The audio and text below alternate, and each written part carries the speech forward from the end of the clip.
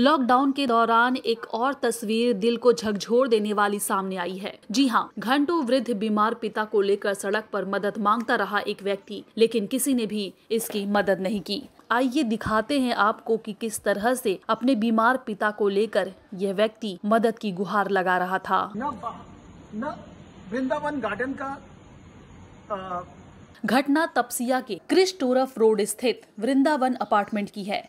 घटना को लेकर उक्त व्यक्ति ने पुलिस से मदद मांगी, लेकिन देर रात तक उसे अपार्टमेंट के बाहर खड़ा रहना पड़ा।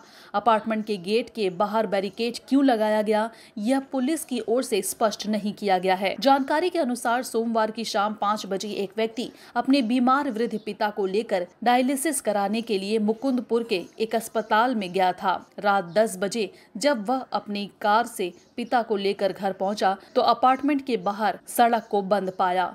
पुलिस ने सड़क को बैरिकेड के ज़रिए पूरी तरीके से बंद कर दिया था। अपार्टमेंट के अंदर जाने वाली तीनों गेटों के बाहर बैरिकेड लगा दी गई थी। ये व्यक्ति चिल्लाता रहा लोगों से गुहार की मदद माँगता रहा लेकिन किसी ने भी इनकी नहीं सुनी। मुझे घर में इनको रेस्ट कराना है। इनका ब्लड प्रेशर 220 तक चला जाता है। मेडिसिन घर पे पड़ी हुई है। 10 मेडिसिन अब मुझे दे, देनी है इसको। और ये आदमी आज आ, मर जाएगा तो कौन ज़िम्मेदारी लेगा? प्लीज़ आप इस, इनका ज, इसका जवाब दीजिए। सर नहीं भैया। व्यक्ति ने अपने वीडियो में बताया है कि उनके अपार्टमेंट के अंदर कोई भी कोरोना संदिग्ध मरीज़ नहीं मिला। यहाँ तक कि आसपास के इलाके में भी कोई कोरोना का मरीज़ नहीं है। ऐसे में पुलिस ने क्यों उनके अपार्टमेंट में जाने वाले रास्ते को सील कर दिया।